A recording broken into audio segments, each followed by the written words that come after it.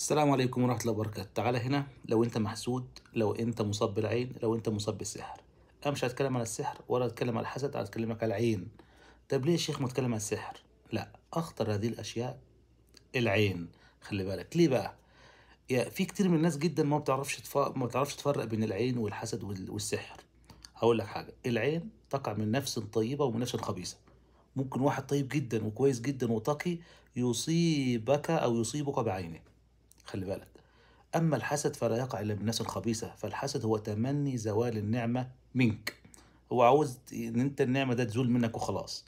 طب تجي له النعمة؟ تجي له ما تقولوش ما يهمهوش أهم حاجة النعمة تزول منك وخلاص. أما السحر بقى ده, ده شيء تاني خالص عملية كده حسابية ومش عارفة إيه وطلاسم ولها شروط ولها حاجات. قليل من الناس من يفعل ذلك. لكن أكثر ما يصيب الأمة الإسلامية أو الناس من العين. لذلك النبي صلى الله عليه وسلم كان يأمر عائشة أن تسترقي من العين وكان النبي صلى الله عليه وسلم يرقي الحسن والحسين من العين خلي بالك العين. وقال النبي صلى الله عليه وسلم إن العين لتدخل الرجل القبر وتدخل ال- ال- ال- الجمل القدر. وقال النبي صلى الله عليه وسلم إن أكثر ما يموت من أمتي من النفس أو العين. أحاديث كثيرة جدا. طيب خطورة العين إيه بقى؟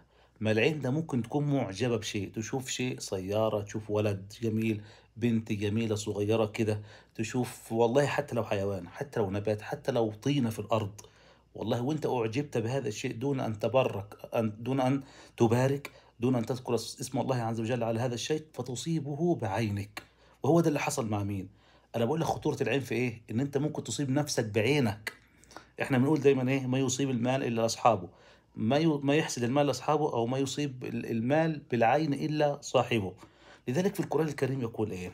ولولا إذ دخلت جنتك قلت ما شاء الله لا قوة إلا بالله إن ترني أنا أقل منك مالا وولدا يعني أنت لو دخلت الجنة بتاعتك أحسن لك تقول تبارك الله تقول لا حول ولا قوة إلا بالله. يبقى لو أنت أعجبت بشيء من نفسك من مالك من من ولدك سيارتك بيتك أسرتك زوجتك تقول لا حول ولا قوة إلا ما شاء الله لا حول ولا قوة إلا بالله. طب أنت لو أعجبت بشيء غيرك ببيت غيرك بولد صغير ببنت صغيرة بأولاد جارك تقول إيه؟ تقول تبارك الله تبرك. ده مهم جدا خلي بالك. في ناس تشوف الواحد يقول ما شاء الله ما شاء الله ده لو كان مالك أنت. لكن لو كان مال غيرك حاجة غيرك وأنت أعجبت بها تقول إيه؟ تبارك الله كما ورد في القرآن. تمام؟ طيب إيه خطورة العين بقى؟ تعرف إن في صحابي أصاب صحابي بعينه؟ والصحابي بيحسد يا شيخ مش بيحسد. ما أنا قلت لك العين ده بتقع من إيه؟ من ش... من عين معجبه كان في واحد اسمه سهل بن حنيف. سهل بن حنيف ده كان يعني كان حليوه إحنا بنقول مصر حليوه كده جلده أبيض كده وجميل كده. وده شيء نادر مش معهود في الجزيرة العربية. معظم الرجال عندهم جلد خشن بسبب الشمس والحرارة والكلام ده كله. لكن هو كان يعني مختلف عنهم. كان جلده كده أبيض كده زي الأوروبيين كده. فالمهم ذهبوا مع النبي صلى الله عليه وسلم في مكان يسمى الخرار. مكان كده فاغتسلوا. في. فسهل بن حنيف خلع ملابسه واغتسل طبعا ما خلعش الملابس كلها يعني. فاغتسل يعني بيغسل بيتوضا والكلام ده كله. شافوا مير. شافوا واحد اسمه عامر بن ربيعة. عامر بن ربيعة خلاص شاف جسد سهل بن حنيف قال ما رايت كاليوم ولا جلد مخبأة. يعني إيه إيه الحلاوة دي؟ بقول كده. قلت جسمه أحسن من جسم البنت العذراء في خدرها. في خدرها البنت اللي هي ما طلعتش خلاص ولا الشمس شافتها. فإيه اللي حصل؟ فلبت سهل في الحال.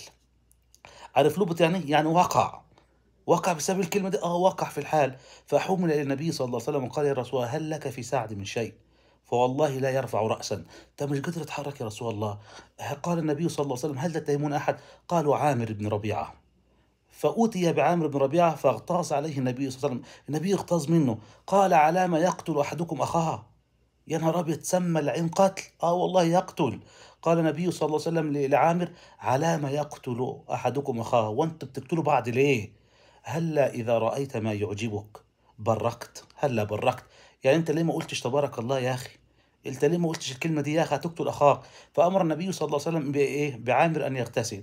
فغسل عامر يديه ومرفقيه ووجهه وأطراف قدميه وركبتيه وداخلة إزاره ثم وضع في قدح في حلة ثم صب على سهل اللي هو مصاب بالعين صب على رأسه من خلف وظهره من الخلف فقام سهل في الحال.